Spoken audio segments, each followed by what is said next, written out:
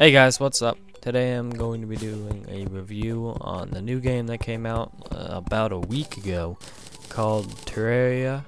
I hope I pronounced that right. But I picked up this game about three days ago and I've been having a blast with it, so I thought I'd just do a review of it.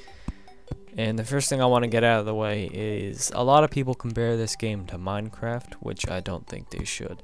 This game is similar. It has similar similarities, but it also has dif differences. It, you know, you chop down the wood, you get the wood, you build the shelter, and you go into the cave. You get ores, you build armor and weapons from that, etc., etc. But in this game, there's about 10 more weapons, armor, and a lot more fighting.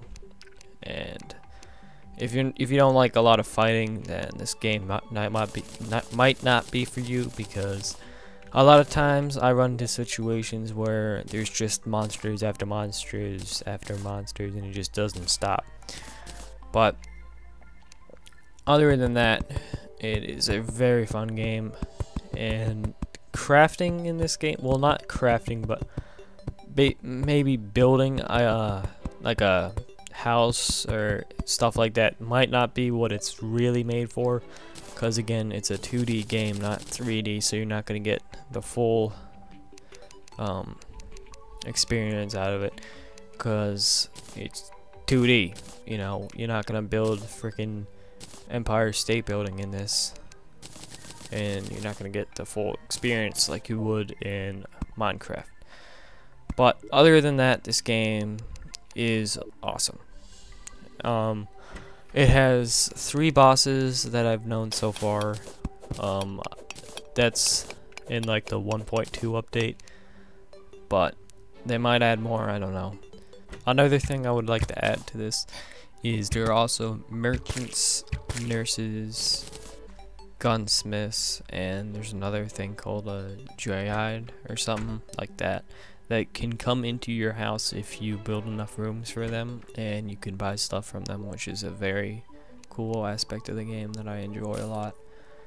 And also there are things there are different biomes like the underworld and the jungle biome and then there's something called corruption.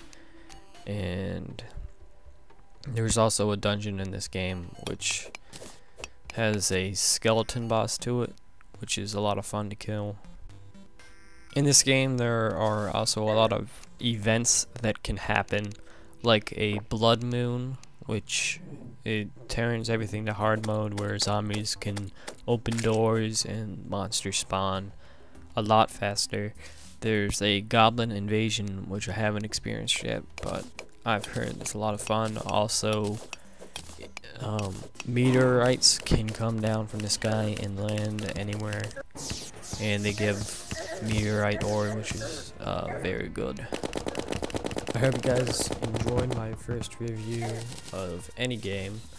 Please comment rate and subscribe and I will see you guys in the next video